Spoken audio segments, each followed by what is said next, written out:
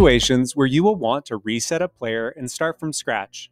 In this tutorial, you'll learn how to factory reset a player and format its SD card so you can change the device type of the player.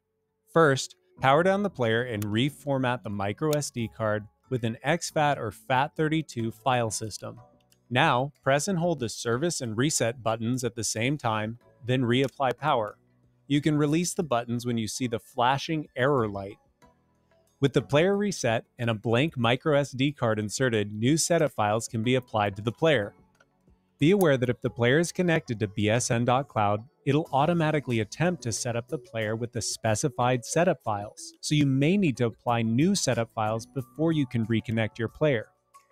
You can also factory reset a player and format its SD card from the Network tab by connecting directly to the player using the Remote Diagnostic Web Server or the remote DWS for short.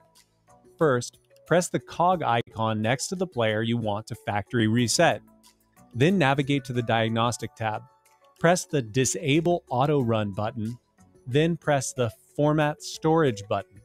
Next, navigate to the Control tab and press the Factory Reset button.